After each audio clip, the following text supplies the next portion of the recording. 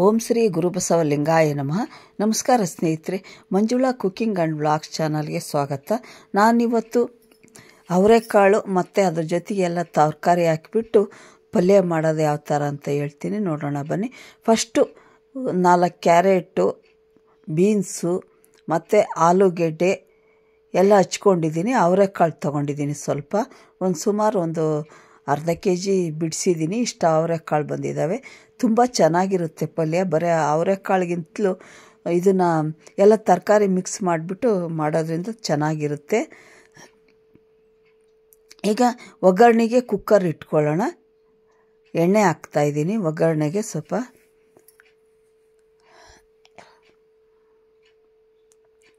ಎಣ್ಣೆ ಸ್ವಲ್ಪ ಕಾಯಲಿ. ಕಾದ ಮೇಲೆ ಸಾಸಿವೆ ಹಾಕೋಣ.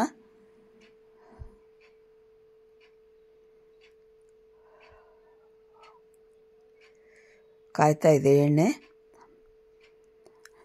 ಜೊತೆಗೆ ತರಕಾರಿ, ಹಸಿ ಕಾಳು ತರಕಾರಿ ಹಾಕಿ ಮಾಡಿದರೆ ಚೆನ್ನಾಗಿರೋದು. ಬರೀ ಕಾಳು ಹಾಕಿದರೂ ಚೆನ್ನಾಗಿರಲ್ಲ. ಎಲ್ಲ ತರಕಾರಿ ಜೊತೆ ಮಿಕ್ಸ್ ಮಾಡಿ ಟೇಸ್ಟು ಚೆನ್ನಾಗಿರುತ್ತೆ. ಹೆಲ್ತಿಗೂ ಒಳ್ಳೆಯದಲ್ವ ತರಕಾರಿ? ಅದಕ್ಕೋಸ್ಕರ. ಸ್ವಲ್ಪ ಎಣ್ಣೆ ಕಾಯಿಲಿ ಚೆನ್ನಾಗೆ.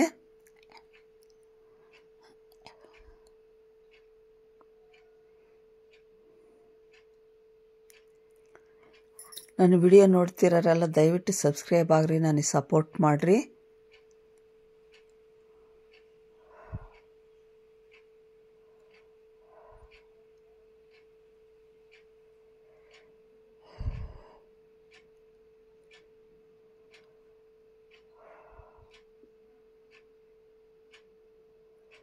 ಈಗ ಸಾಸಿವೆ ಹಾಕೋಣ ಎಣ್ಣೆ ಕಾದಿದೆ.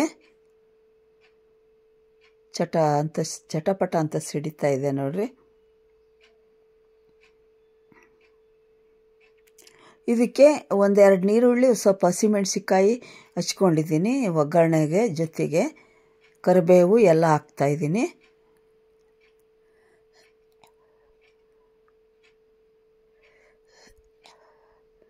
ಎಲ್ಲ ಮಿಕ್ಸ್ ಮಾಡೋಣ. ಸ್ವಲ್ಪ ಫ್ರೈ ಮಾಡೋಣ.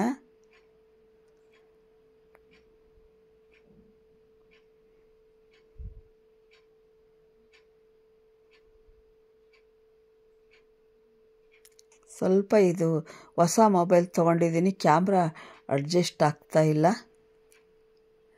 ಸೈಜು ಹೆಚ್ಚು ಕಡಿಮೆ ಬರ್ತಾಯಿದೆ ವಿಡಿಯೋದ್ದು.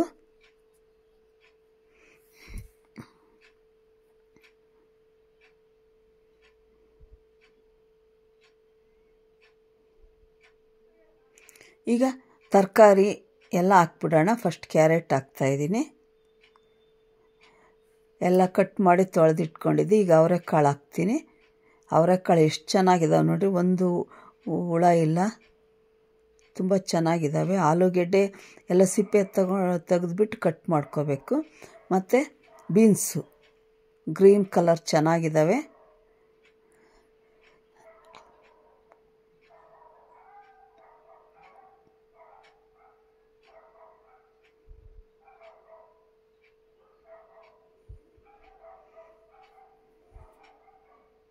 ಎಲ್ಲ ಮಿಕ್ಸ್ ಮಾಡೋಣ. ಇದಕ್ಕೆ ಟೊಮಟೊ ಹಾಕ್ತಾಯಿದ್ದೀನಿ ಎಲ್ಲ ಮಿಕ್ಸ್ ಮಾಡೋಣ ಈಗ.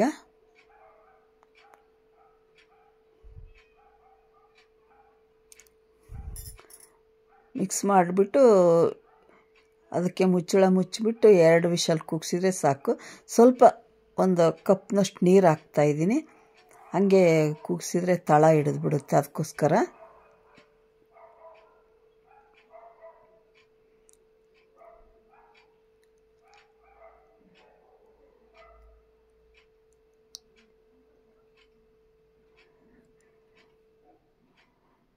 ಈಗ ಮುಚ್ಚಳ, ಮುಚ್ಚಿಬಿಟ್ಟು ಎರಡು ವಿಷಲ್ ಹಾಕ್ಸೋಣ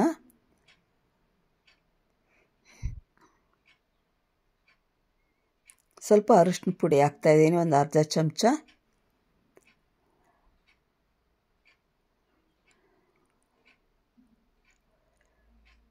ಅದನ್ನು ಮಿಕ್ಸ್ ಮಾಡೋಣ.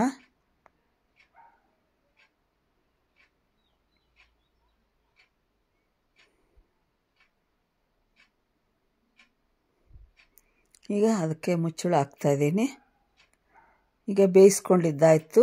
ಬೇರೆ ಪಾತ್ರಕ್ಕೆಲ್ಲ ತಕ್ಕೊಳ್ತಾ ಇದ್ದೀನಿ. ಎರಡು ವಿಷಲ್ ಹಾಕ್ಸಿದೆ. ಇದಕ್ಕೆಲ್ಲ ಸಾಂಬಾರು ಪುಡಿ, ಉಪ್ಪು ಎಲ್ಲ ಹಾಕ್ಬೇಕಲ್ವ? ಅದಕ್ಕೋಸ್ಕರ.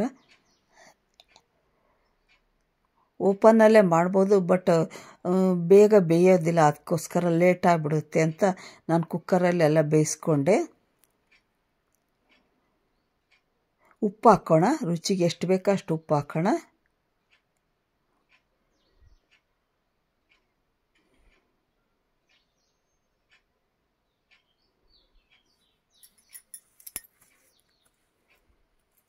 ಸ್ವಲ್ಪ ಸಾಂಬಾರು ಪೌಡ್ರ್ ಹಾಕ್ತಾಯಿದ್ದೀನಿ ಒಂದು ಚಮಚ.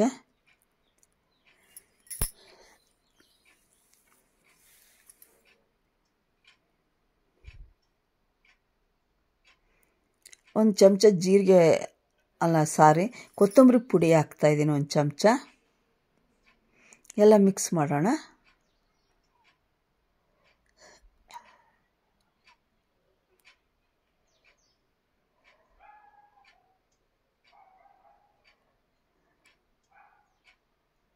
ಚೆನ್ನಾಗಿ ಸ್ವಲ್ಪ ಕುದಿಲಿ.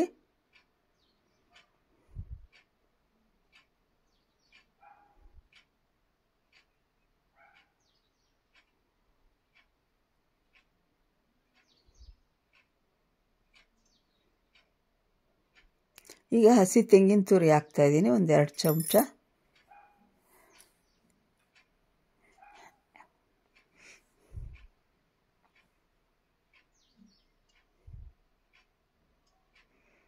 ಎಲ್ಲ ಮಿಕ್ಸ್ ಮಾಡೋಣ.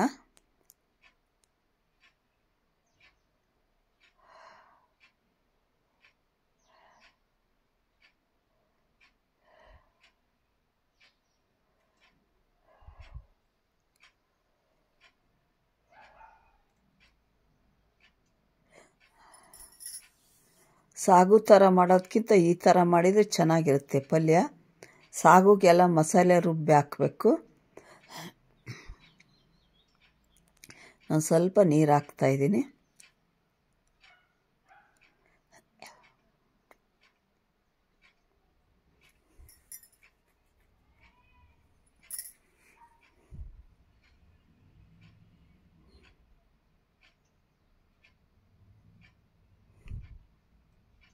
ಸ್ವಲ್ಪ ಒಂದೆರಡು ಕುದಿ ಕುದಿಬೇಕು ಪಲ್ಯ ಈ ಥರ. ಚಪಾತಿ ರೊಟ್ಟಿ ದೋಸೆ ಎಲ್ಲದಕ್ಕೂ ಚೆನ್ನಾಗಿರುತ್ತೆ. ಮೆತ್ತಗೆ ಬೆಂದಿರುತ್ತೆ ಕುಕ್ಕರಲ್ಲಿ ಎಲ್ಲದಕ್ಕೂ ಸೆಟ್ ಆಗುತ್ತೆ ಈ ಪಲ್ಯ.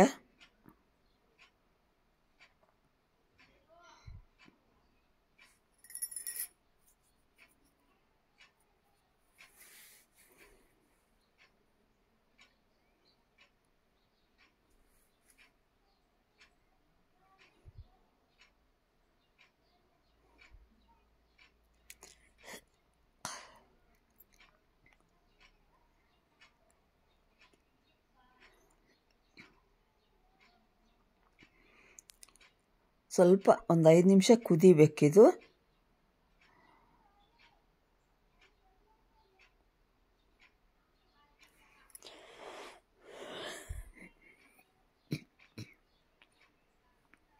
Okay thank you friends